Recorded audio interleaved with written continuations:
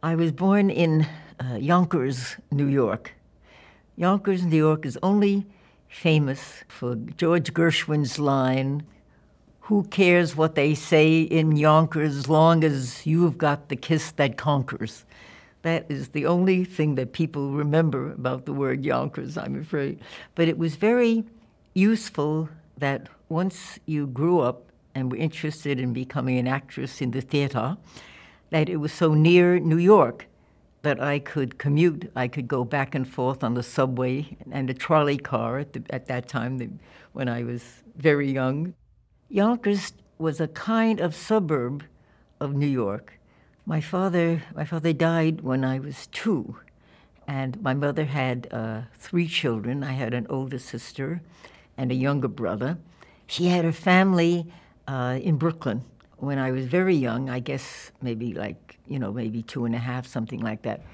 We moved to Brooklyn and uh, we stayed there for about, uh, I guess, till I was eight. Uh, and then there was a lot of a lot of moving around for a couple of years. But then we settled, we moved back to Yonkers, I guess when I was about 12. And I finished junior high school and high school in Yonkers. And then, of course, you know, all the professional things started very young. My given name was Lillian Perry Miller. And Perry was my father's name, so that after he died, they gave it to me as a middle name because my brother already was named after an uncle. But when I went into the theater, which was when I was about 16, uh, I became Perry Miller. People remembered that name because there was a big show that was uh, Perry Mason. So they would make the connection. They could remember, they could remember Perry. My family was not involved in, in theater or the arts at all. Uh, my mother came with her family uh, when she was eight years old. She came from what was then part of Russia, but it was actually uh, Poland. But I was interested in acting very, very young. I was always entertaining. I mean, I was the one, they told me when I was about two or three years old, I would perform something for a, a little family group and then says, why, do, why don't you clap for me? so that uh, I guess, it, you know, you're kind of born with that. When I went into school, you know, I was doing uh, in the dramatic club, we did a lot of theatrical things in camp, you know, at shows, amateur theatricals. And then as I got a little older, I joined um, uh, a little theater group in Yonkers. There was a thing called, at that time, they called them amateur hours. In the 30s, all the uh, vaudevillians and actors were out of work. And so they started something in movie theaters that they called amateur hours that they could have acts, different acts, and they had one that was open to people in the neighborhood. so, so when they came to Yonkers, uh, myself and a friend of mine uh, signed up. Uh, I ended up winning the prize and making five dollars. Well, five dollars, you realize this that that's a lot of money. Somebody said to me, Perry, you know, you could do this if you wanted to. You know, there's a place downtown in New York uh, in the Bond building, and why don't you go and uh, you can make some money? And of course, my mother was horrified, you know, coming home late at night, but I started doing that, and I did, had a kind of circuit. So I got on Major Bowes' amateur hour, which was a big deal at that time. And a result of that, I guess I was one of the prize winners, but I, uh, you got an audition with a real radio show and I got an audition, and I did, uh, uh, uh, and I did one you got seventy-five dollars for an hour. Seventy-five dollars an hour. Can you imagine at that time? You know, it was a fortune. So I decided that there's no question. I always wanted to be an actress, and it was this was my, you know, the theater was my was my was my destiny, and um, so that summer, uh, I decided I should become an apprentice with a summer stock company, that that was a thing to do in the summer. And uh, it cost, I don't remember exactly, but you know, it was a little expensive. And um, my mother, fortunately, when my father had died, had left uh, a couple of small little apartment houses. My mother turned out to be a good businesswoman. I had just finished my junior year in high school. It turned out that the um, the apprentices did their own version of what the uh, uh, what the, the professionals were doing. You had a Saturday afternoon show. And it turned out uh, I was playing the lead. It was called Goodbye Again. And the leading lady went to New York, took off with the leading man, and didn't show up in time. And there they were, Saturday night, and no leading lady. Well, of course, I knew all the lines. so I did I did the lead with the professional company, and that did it. I mean, you know, nothing else had a chance. That summer, when, I, when we finished, I came back in the fall, and I began making the rounds of casting auditions. And somebody said, you know, they're looking for girls who look like you at the Theatre Guild. They're doing a show called Madame Bovary.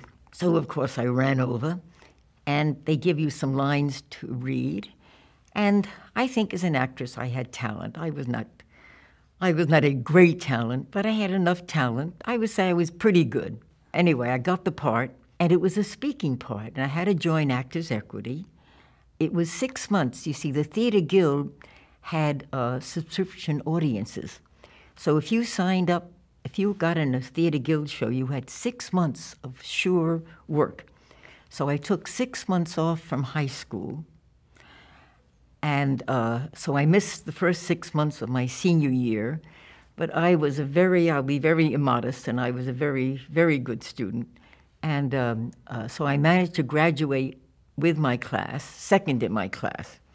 That bothered me. I mean, I intended to graduate first, but I managed to graduate second. And, um, uh, and then, and that was it. As I said, I told my teachers that I'm, I'm not going to go to college. I'm going to be I'm going to be an actress. I'm going to the theater. And, um, and then I found out what it was like. You know, I had gotten a part the very first time. You know, it was so easy. And then I found out that it was very tough. But I did manage to get some small parts. Once I began seriously looking for a job, and I told my mother that I wanted to, to move to New York. Well, that was a shanda that's in Yiddish, that's a shame. I mean, that is really, uh, a really a disgrace if your, your unmarried young daughter moves to New York. That is, you know, is not considered, uh, um, that's not, mothers are not, mothers are not happy about that. And uh, so it was kind of resolved by the fact that I had a cousin, uh, uh, uh, my cousin Molly, that she uh, uh, that she was also looking for a place in New York, and uh, so we, we took I remember an apartment in Chelsea. If you're going to be an actress, you're going to have to support yourself somehow, and the obvious thing was at that time. To be a model. As a matter of fact, more people, more girls maybe wanted to be models than, than actresses. So that I had to have some photographs made and then this this atmospheric uh, bathing suit picture. And I had a few minor uh, advertising jobs, very minor. But I did find that photographers, so-called art art photographers, uh, liked photographing me. So I have uh, so I have a number of, of, of things which are kind of uh, their idea of being uh, arty, like uh, like like like this one, you know, kind of um, atmospheric. And and one of the things that began happening was that uh, uh, there were shorts being made. They were called soundies. And so I was a I was an extra. And this and this is one of my favorites. This uh, I was a whack I wrote the uh, the words and the music for the for this. She has eyes of navy blue and a great big job to do. She's the niece of Uncle Sam, and you know all this saluting. Um, and this was the way sigh, sigh, this is the way I looked in my early 20s. I never wanted to do anything except be an actress. And then, and then the world changed. The world changed. Fascism in Germany, in Italy, and um, I began to understand what was going on. And gradually, I began to feel that um, if I if I was not an actress, there were a lot of other very good people who were going to play those parts as well or better than I. But maybe there were some things, maybe there were some things that needed to be done that if I didn't do them, maybe they wouldn't be done. Maybe there were some things that I could do uh, that mattered. And so I decided, you know, since theater was the only thing I really knew and was interested in, that I got the idea of Stage for Action to present short plays that dealt with important social and political issues at that time, and uh, you couldn't you couldn't get these things in professional, you know, uh, uh for nobody was going to pay to see them. They were uh, so we were doing it for community audiences. So we did it for churches, for labor unions, for all kinds of community organizations. We asked some of the leading playwrights of the time, and Arthur Miller did one for us. We had some of the best actors on Broadway at that time. Uh, Sam Wanamaker was in it, and one of the shows was about the um, the need for, for nurseries for the children of working mothers, because mothers were needed for war work at that time. This is all, all during the war. And uh, we had one on the Wagner Murray Dingell bill, which was the same almost the same health bill that, um, uh, that Clinton tried to pass, that uh, Obama is trying to pass, and that stage for action grew out of this need to do something, something that would be important for the war effort. After the war, then things began, there were other issues.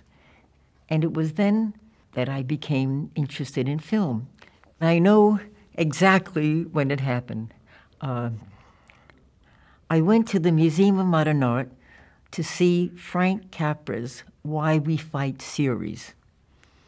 And at that time, it was still during the war that they were showing it. The whole series was created to tell soldiers to motivate why they were fighting, why it was worth risking their lives. And um, I'll never, I'll never forget, you know, seeing uh, the first film and the emotional effect of this film uh, was so powerful that if there had been, I have said this, and, and, and I think it's true, that if there had been somebody, a recruiter, that signed you up when you came up, and I was such an intense pacifist, you know, such a, against the war. You know, all of us were against war until, you know, until fascism.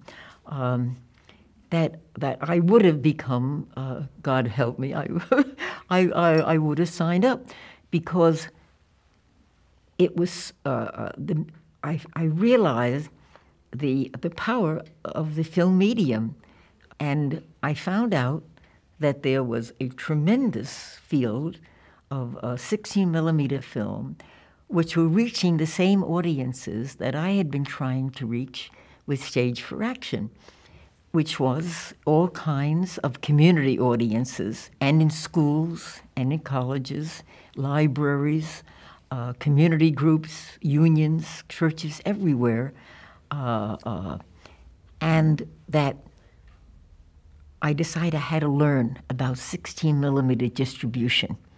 I didn't say I want to learn how to make 16 millimeter films. I wanted to learn about 16 millimeter distribution, how you got the films out there. And then, of course, I had to learn about what films existed. And I found out that um, Tom Brandon was, uh, uh, was the person who had the best library of, uh, uh of let's say, social activist films. so I went to Tom, and here is this, you know, sort of pretty gorgeous theatrical character coming into him and saying, I would like to work for you uh, for free because I'd like to learn the business. Well, he was no dope. So, of course, you know, what did he have to lose? So I began working for Tom and trying to learn the business. I was working on a catalog of films, and they were going to be very widely distributed, some of the best films on um, social and political issues. And I found out that Tom only wanted to include Brandon films. And I said, well, what about this film and what about that film? Oh, no, no, no. Just, uh, I mean, I can't push somebody else's film. That was the end of the romance. Tom Brandon and I were finished. Well, actually, at that time, I found out that they were looking, yes, that was, they were looking for somebody at the UN who knew something about, um, uh, about 16 millimeter films, about non theatrical films. and, and it was very easy to get the job because there weren't there were much, wasn't much competition. There weren't many people in the field who were interested. And um, uh, so I made, it was called, uh, it was actually a supplement, but it was a big, thick catalog of uh, what they called social welfare films. And then I had gotten myself married uh, a couple of years before this. And uh, for various reasons, that began to fall apart. I'd always wanted to go to France. I always wanted to go to Europe. And this was my chance. I knew that this was the time to do it. And so in 1949, in September, I went first class on the Ile de France. And when I got on the boat, I really could not speak French. I couldn't understand. I went to a movie and I walked out because I couldn't really understand what was going on. I refused to talk English with anybody. I refused to talk English. And so I was practicing while I was on the boat, and I was talking French. And I was very lucky because very close friends, V and Lothar Wolff, were in Paris. They were living in Paris. And Lothar, Lothar was the head of the film section of the Marshall Plan so that he was the head of supporting film industry and documentary production, both feature and doc- in, in, the, in the countries um, which had survived the war, which needed help. But in any case, I fell in love with Paris immediately. And I'm still in love with Paris. And, and looking back, that was an absolutely magical time. Uh, for one thing, um, uh, I had friends there so that I never felt alone. I never felt, well, you know, I don't know anybody here. I never felt I was in a strange town. Uh, my French uh, uh, was good enough so that uh, after a short time uh, I could speak French and I could, I could communicate with, with, with people. And I met some wonderful people at UNESCO, and I became part of that kind of UNESCO crowd. And during that 10 months, uh, I saw all these wonderful short uh, or long, mostly short, documentary film on all subjects. And that was uh, a very, uh, a very key point, uh, moment in my life when we all went uh, there was the first International Festival of Films on Art. The first, very first, and it was in, in Brussels, the first International Festival of Films on Art where I saw the films of Luciano Emmer. And Luciano Emmer, who is in the art film field, the famous name, and I don't know how many people in America have heard of the name, but he was the first person to move a camera in close to works of art and tell the story of, uh, of the painting through uh, movement and close ups. It was a revelation. I mean, a real revelation. I had never seen anything like it before. And then th- there were other other films. I mean, there were uh, there were films on music, you know, wonderful films on music. And when we I came back to Paris, thought something has to be done about this. And I was looking for a cause, I guess. You know, I was Joan of Arc looking for a cause um, at that time. And, um, and I decided that it had to be a nonprofit organization, because there's not going to be any money in this, and that I would get together a group of uh, the best uh, documentaries on the arts and also scientific films, uh, uh, all different kinds of documentary, of producers who wanted, who would give me their films and wanted their films distributed in America. Their films were just not being shown uh, anywhere. I decided the way, how would I choose the best films? So I got a list from my friends um, of uh, who were the experts, who really knows about film besides, besides, you know, give me a list of what you think are the 10 of the best European documentaries that you think are worth bringing to America.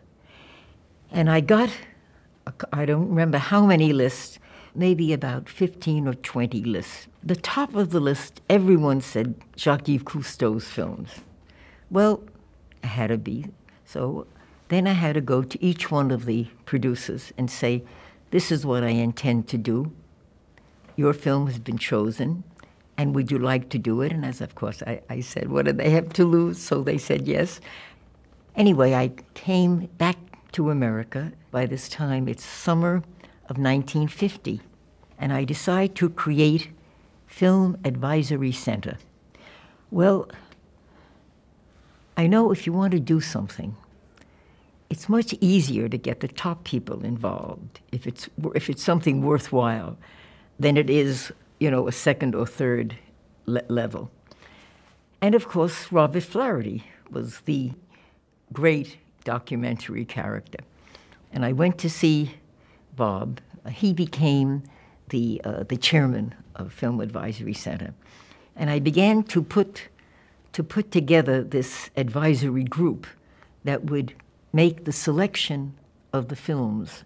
So I had, I started Bosley Crowther, who was the critic, film critic for the New York Times, uh, Aline Louchheim, who was the art critic for the New York Times, uh, Theodore Rousseau Jr., who was the top uh, curator at the Metropolitan Museum of Art, Theodore Rousseau Jr., um, Arthur Knight, who was the critic, uh, film critic for the Saturday Review of Literature.